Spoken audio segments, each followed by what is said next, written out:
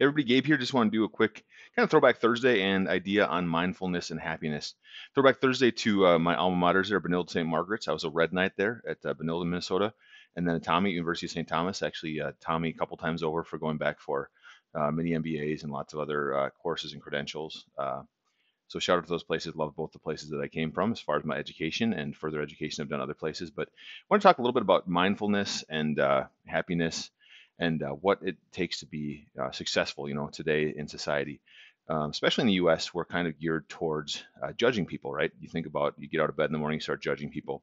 Uh, you might judge people that you love and the things they're doing wrong, or you might judge coworkers, you might judge your boss or uh, customers. But uh, judging doesn't help us at all, right? Judging affects us, stops our ability to like and let's go further forward is to love those other people. So say uh, you love people, but you're judging them, uh, those two things can't coexist at the same time. You can't love somebody and judge them at the same time. So uh, for today, for Throwback Thursday today, I just talk about a little bit about mindfulness and judging. So when you get up in the morning, make the idea or set out in your mind that you're not going to judge people. Set out in your mind that you're going to like people, that you're going to love people for who they are, but that you're not going to judge what they're doing. Uh, you want to pay attention to what you're doing internally. Um, I get up every day in the morning and t- t- give myself a little mantra, and it's really uh, two things.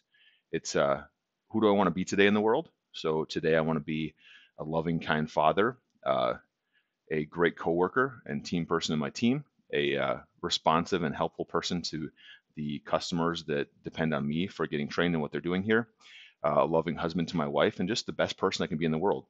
Uh, so that's who I want to be. And then what I want to bring into the world too is part of that? Um, it's not exactly the same thing. So what I want to bring into that? Uh, I want to bring in as much positivity and caring uh, and non-judging behavior as possible. So kind of my mantra for the morning that I do every morning is what do I want to bring into the world today?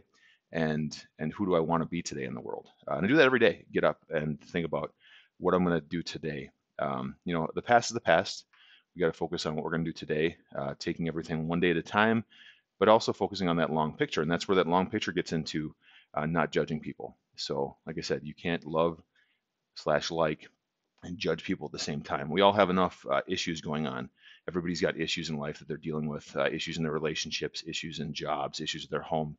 Um, everybody's got all these things going on all the time. So, I would say for today at least, try not to judge people. Go out and focus on being as positive as you can. And it's interesting to see uh, being as positive as you can to other people uh, see what comes back from that today. I'd be interested in hearing comments on what you guys get out of being super positive to everybody you meet today. As far as maybe there's a janitor that works at your office building saying hello and how's your day going. Uh, somebody you meet in the elevator talking about the weather or seeing what their plans are for the rest of the day or just you know striking up a conversation even if it's just a small one uh, and asking somebody you know legitimately and honestly you know uh, what they're doing today how they're doing and just showing that you care about people because that's what being a person's about. It's being human, and that human aspect seems like it gets out of uh, everyday work life a little bit. And sometimes, if we're not careful, it can also get out of our relationships. You know, our our, our wives, our girlfriends, our children, our parents.